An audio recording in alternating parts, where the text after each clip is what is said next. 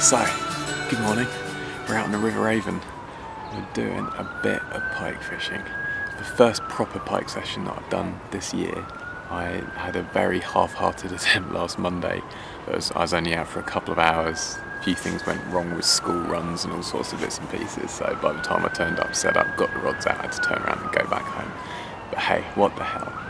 Um, so yeah, I've just got two rods out. Anyone who's watched any of my other videos will probably recognise the swim. It's my favourite tree swim on the Keynsham stretch. And yeah, I've got one uh, mackerel tail on a ledger out towards the tree, and the second rod's got a sprat, but I'm kind of casting and let it drift down in the current. I'm not really sure how active the fish are going to be. I don't know whether they're going to want to chase something down or they'll be uh, interested in a static bait. So I bought a load of sprats and I bought a load of uh, lures and some mackerel, and I figured I'd chop and change in each swim between each method. The usual kind of 20 minutes, half an hour in each um, spot. Give it a go, see what happens. Uh, a friend of mine was out yesterday and he had a couple of jacks out from along this stretch. Very, very different conditions though. Yesterday it was incredibly sunny, really warm actually for the time of year. Today we've had some rain, it's kind of overcast, although there is some blue coming out in the sky behind me. Um, there's no wind, it's very still, there's virtually no current. So, I don't know, we'll see how it goes. It's the first session, so it's, you know, a bit of a tester. And uh, yeah, fingers crossed, we'll put a bike on the bank. Well, conditions have completely changed now. It's gone from being muggy and rainy and kind of looking quite pikey actually to blue skies, fast moving clouds and winds got up and it's, uh, yeah, it's warm in the sun but jeez it's cold in the shade. So anyway, I've had a change of swims. I've come, oh, blimey, 100 paces up the bank and I'm in a swim where I actually got a fish from uh, late last year. So I'm going to give this a go. Um, yeah, I think 20 minutes here. I'm not. I spent far too long in the other swim. So yeah, I'm going to set a timer for 20 minutes. Um, same tactics as before. Got the mackerel tail out in the little cove just round to my right, and the sprat is drifting through the current. Oh, I'm actually getting. I'm getting a tap on the sprat. I'm going to go and pay attention to that. I think.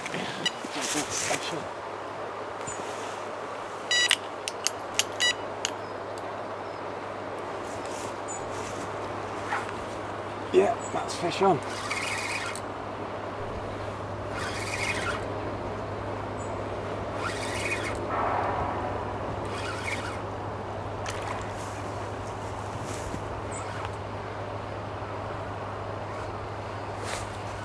Hey! Get him in. Doesn't manage to. Oh, he's be right side.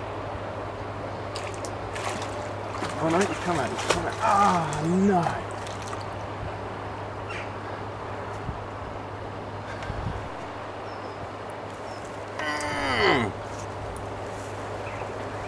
It's a massive snaggy bush down the side here. Just put me straight in it. It actually came out, but it went slack. It's only a tiny jack.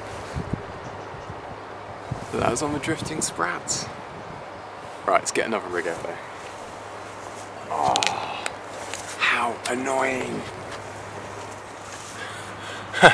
so, after losing that one at the net, I think I've just had his little brother. there you go, lose one, get one. Only a little baby jack, but I'm pretty happy not to have blanked my first session out. Happy days. Right, let's get him back. I've just lost another one on the strike on the sprats drifting around in the swim. I knew I was going to regret only bringing 10, but let's give it another go. So my sprat rig is a little size 8 treble, a nice big, I think that's like a size 2 or something.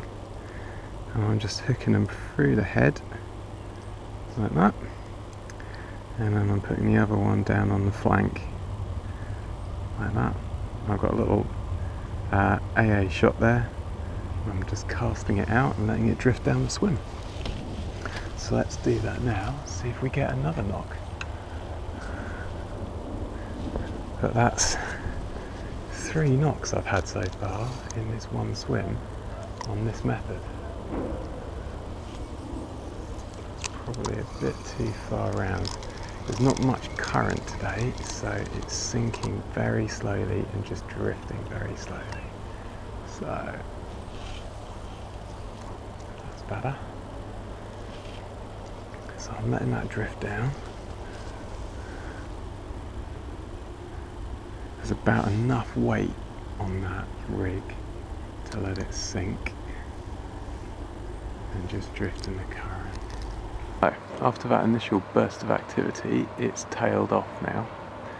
I've stuck in here because I did get another hit on the sprat rod and very and yeah I struck but came off and bearing in mind that's the only signs of activity I've had is on my sprat rods you might be able to see it out there I've changed the right hand rod over to a float and I've only done one cast but I'm letting it drift through the swim and I'm going to keep changing the depth and see if that makes a difference. It's interesting when I release that fish down in the edge here just how clear the water is.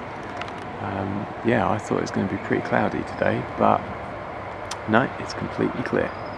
So yeah, I'm to cast that float rod I reckon probably kind of five, ten times, something like that and I'm just to let it keep drifting through the centre section. See what happens. Oh, I think I'm getting a twitch on the other rod, so I'm to concentrate on that now. So, another new swim. Again, it's only 50 or so paces down the bank. But yeah, that other swim is completely dried up. So yeah, I'm going to give it 20 minutes here. I'm going to stick with the same tactics. I'm going to drift those sprats through and see if we can get another pickup. Well, I've been in this swim a good 15, if not 20 minutes. Not had a knock, a tap, and nothing. No signs of action. So I think I'm going to up sticks. I'm going to head back past the tree swim. There's two swims I want to investigate down there.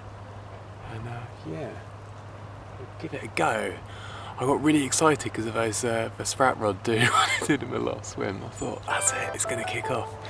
Um, but it's been very, very slow. So yeah, let's reel in, hoof down, see if we can pull out anything down there. So, another new swim. Never actually had a fish out of here, but I've always thought it looks really pikey. This kind of snaggy tree and all the rest of it here. And it's just on this curve of the river. So, both rods out, again, drifting sprats, although probably the right hand rod is pretty much static and I'm letting the left hand rod do what it wants. That's just drifting through that corner. So, 10 minutes here, and then probably on to the last swim of the day, I reckon. I've had success in this swim before when the flow's been this slow, so I thought, what the hell, it's closest to the car And uh, yeah, it's only really fishable when it's like this. So I've put a dead bait in this little hole here, where I've had several fish from in the past. And the other rod, I've still got on the sprat, and I'm drifting it through this channel here. I've tried along this far reed margin down here but it's so full of snags and dying off reeds and stuff. It's gonna yeah it's gonna need another month until that's really died back I reckon. So yeah I think that's gonna be it for today.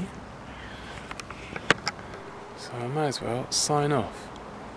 Hope you enjoyed that. It's only a short video. It's good to get one fish on camera and uh, yeah it was really good to kind of get a couple of hits on the sprats put that method to its test so yeah hope you enjoyed that like the video if you did subscribe if you haven't and uh, hopefully next week we'll be back on the bank doing some more pike angling cheers well I'm using the GoPro for this. I've got no idea whether I've got it set up right or not. So here goes. Yeah just on the outro blog. Let's just setting the GoPro up to do a bit of a time lapse. And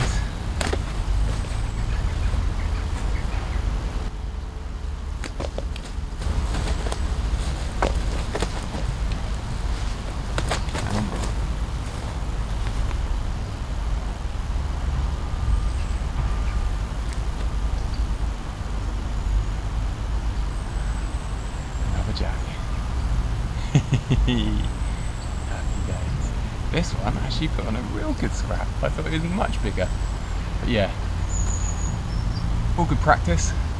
It's really lightly hooked in the scissors, so no deep hooking or anything, which I'm really happy about. Yeah. Another pike. Happy days. Let's get back. You never know, it might be time for one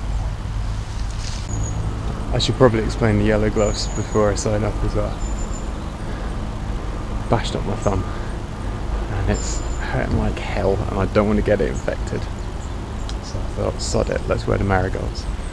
The other thing is, it stops your hands absolutely reeking of pike.